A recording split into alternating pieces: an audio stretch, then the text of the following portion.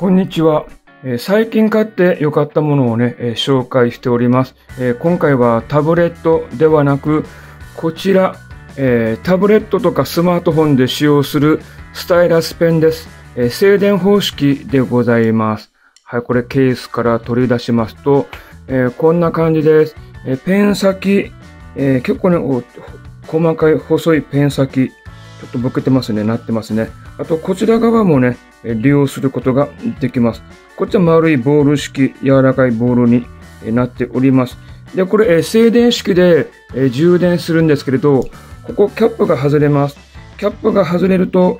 ここにね、ちょっとボケてますけど、USB の、え端子がありますんで、ここでね、充電することができます。はい、これキャップをはめましょう。はい、で、これ実際使うときには、電源を入れます。電源スイッチは、ちょっと見えにくいんですけど、ここ、ここね、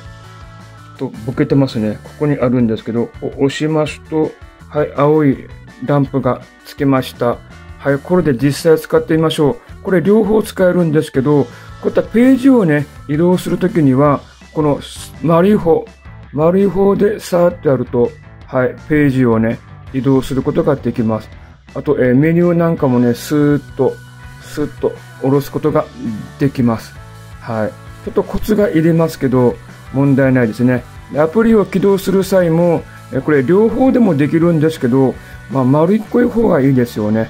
例えば、えー MetaMoJi Note、これ開きましょうか。えーこんな感じでね、まあ、ノート、えー手書きで、えこのペンで書いて、えノートを作ってるんですけれど、結構面白いですね。例えばこのノートなんか、はい、えーこんな感じでね、えー文字をね、直接このスタイラスペンで、えータブレットのね、 MetaMoJi Note っていうのにね、えー書いていくことができます。実際やってみましょうか。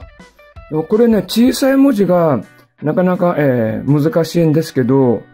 はい、こんな感じできますね。で、ここで、はい、こんな感じで、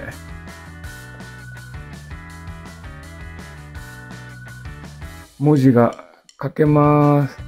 これ、罫線ノートもありますんでね、えー細かい文字なんかも、えー書けますし、はい、えっと、絵なんかもね、書くことができますし、えこのようにね、写真とか文字を、え組み合わせる。こんな感じで、えこれ2ページ目か。えこれ、えこっちのページ、これの、こっち、こんな感じでね、あの、いろんな図形とか、えー文字を、えー組み合わせることもできますんで、こういったスタイラスペンがあると、えー手書きノート風で、えー遊ぶというかね、いろんなものを作ることができますね。写真にこういった手書きの文字も、えー入りますんで、まあ、スタイラスペンがあると、まあ、いろんなことができて、えー便利かなと思います。このね、 MetaMoJi Note っていうのもね、無料でえ利用することができますんで、えスタイラスペンを持ってる方、何か利用できないかなという方はね、この、え MetaMoJi Note でしたっけ？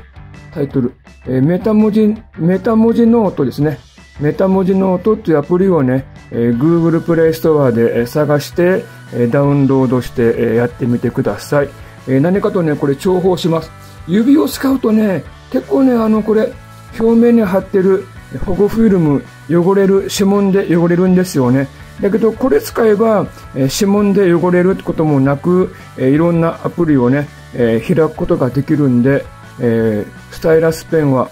え便利、良いかと思います。えーぜひね、え試してみてください。はい、これはね、Amazon で、え購入することができますんで、えこの動画の説明欄に、えリンクをね、貼っておきますんで、えそちらから、えご覧くださいませ。はい、このね、ケースもついてます。終わったらこれ電源を消して、このようにケースにしまっておけば、えー良いかと思います。はい、ということで、え今回はこの件で失礼します。